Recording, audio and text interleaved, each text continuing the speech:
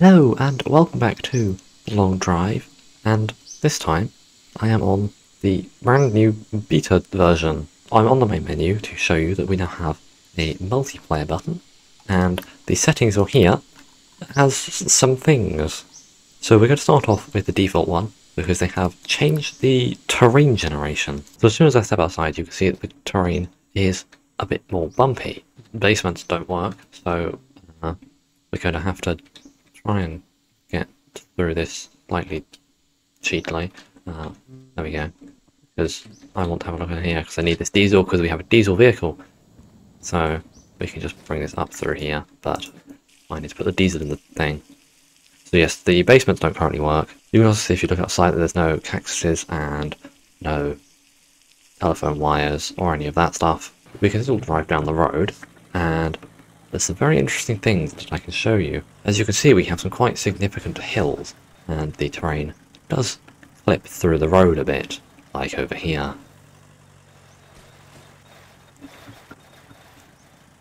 That's make driving these roads quite difficult because you're constantly bouncing around. There's, there's just a lot more verticality going on than there used to be. Not sure whether this is a good thing or a bad thing. I suppose it's really a matter of opinion. And I'm sure they will fine-tune things. Because currently, it is quite awkward to drive. There also seems to be a lot less buildings. They are quite rare now. From my little testing, there were not many buildings. I may have to use some other methods to find them. Yes, this road here comes to the junction. There is now junctions in this game. I don't know which way to go. This does mean there is no longer one end goal, as in the end of the road. There just isn't really that, because you have so many different roads. Whether there even is an end of the road, I don't know, and I have not put the time in to find out in this one beta version of the game. They have also added a new car. We now have a Lamborghini. It has its own engine, which is this big V8. It has its own radiator, which is identical to the Fury one, except that it takes where is it? Let me. I can't. I can't find it. It takes like 17 liters of water. There you go. 17 liters of water, and this takes 18 liters of oil. So it looks the same. That may only be a placeholder. It also has these fancy doors, and glass in the mirror moves, but not the wing mirror itself. It also has its own unique wheels with some huge tyres, which you can actually put on anything, which is pretty funny. I can take these and uh, just put this on here, and this looks stupid, but it's and I can't even pick it up. But uh, you can put it on, and you can do the reverse and put these on here, but I don't think this would work very well. Yes, the fuel tank also currently does not have any kind of visual indicator, it's just here the most important thing is it has pop-up headlights, which is very cool. And so we can drive this, but the problem with this is that well, it's very fast and very low to the ground, and the terrain is far bumpier than it's ever been. So it really does not work in this in this update. Like, I mean, it doesn't really fit in the game anyway, to be honest but uh, it fits in this update particularly badly because the terrain is so bumpy. It just continually has an accident. it just wants to spin the entire time because it seems to be surprisingly front heavy for a rear engine, well, mid engine car. Obviously I don't have any of the mods that would tell me how much power we've got, so I don't actually know the stats of this thing, and I'm not familiar enough with the game files to go and look for them but it feels fast.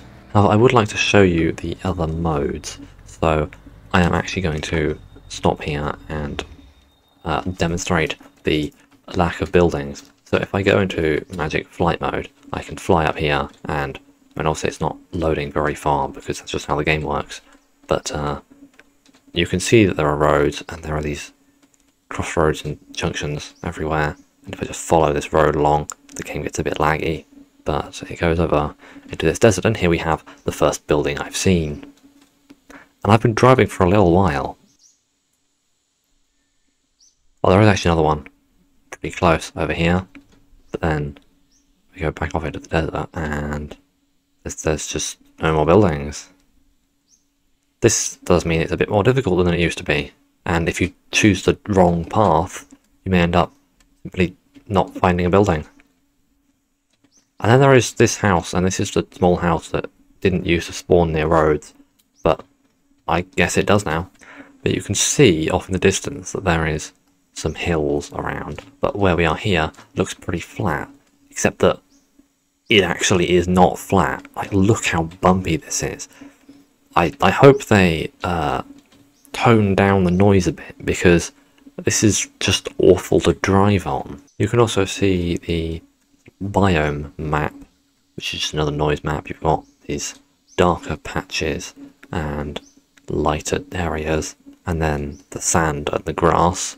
And obviously, there is no actual grass in this version, but we do have the green grassland and the yellow sandy bits and some kind of dark splotches. If we go back to the main menu, we can go in here and we can go to test.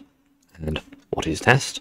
This is test. We have a generic house and a generic building and some slope tests, I guess.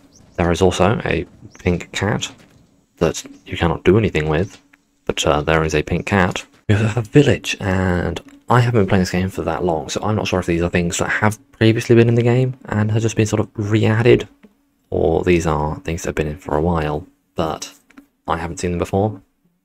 I should also mention, yes, there is a multiplayer button. This test version does have multiplayer, and apparently it's a lot more stable than it was before, but I haven't tried it. This is the village.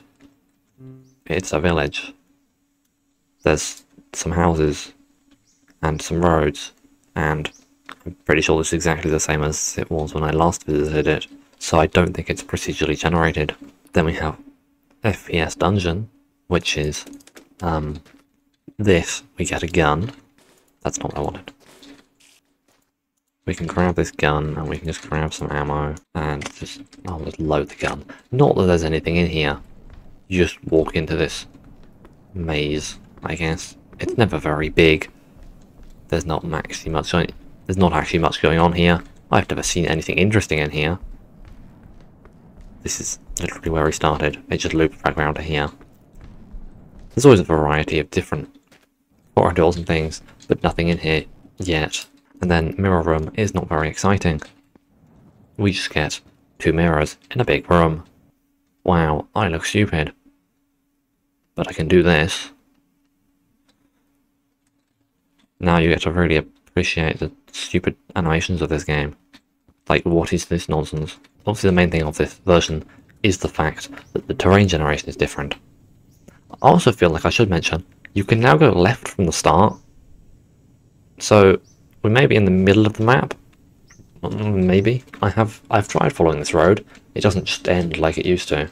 So who knows? Obviously I have no idea what the devs grand plans with this test are. It may be that they just want to test out a new generation system and some multiplayer fixes. Personally, I'm not a massive fan of this new generation. I think it's a bit too bumpy, and the junctions on the roads seems like it could be interesting, but at the same time it could end up unknowingly driving in circles and things like that and whereas before you just had one road and if the poles are on the right you knew you were going the right way now you can end up getting completely lost and stranded because you've accidentally got turned around and gone the wrong way and there just aren't any buildings anywhere near you which could be a bit of an issue and obviously just general lack of buildings is a bit of a problem in itself because if I were to follow the road from here, we would go over here and then I would just follow it straight through and we still haven't found a building.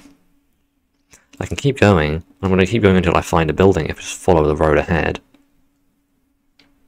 And on the 0.5 litres of fuel that you start with, even if you put in the extra 2 litres of petrol, would, would you make it this far?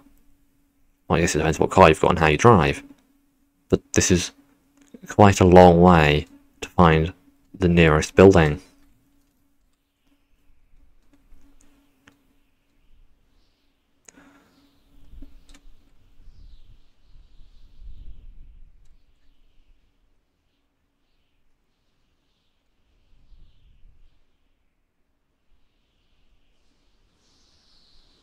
Ah, I finally found something.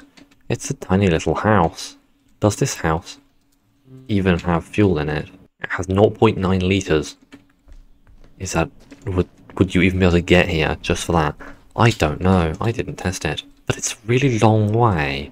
And with the roads being as bumpy as they are, it's a lot harder to travel and all distance is effectively greater because you've got to go up and down so much and you've got to account for the fact you're going to spin out 20 times because you kept going over crests and the back end got light and you crashed. I have, in my little bits of driving, found that you do tend to have quite a lot of accidents over these bumps because the car is a bit too front heavy, comes it's like airtime off the jump, hits the nose on the ground and just starts flipping and tumbling down the road. So you have to be very careful over the over the bumps, which obviously slows you down and reduces your fuel efficiency even further.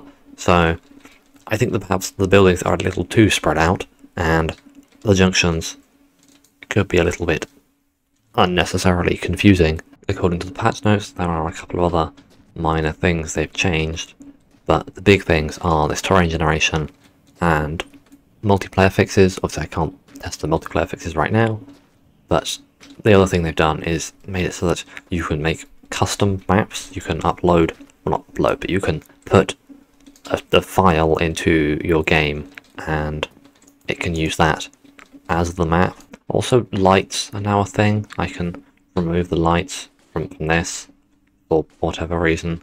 I may want to do that.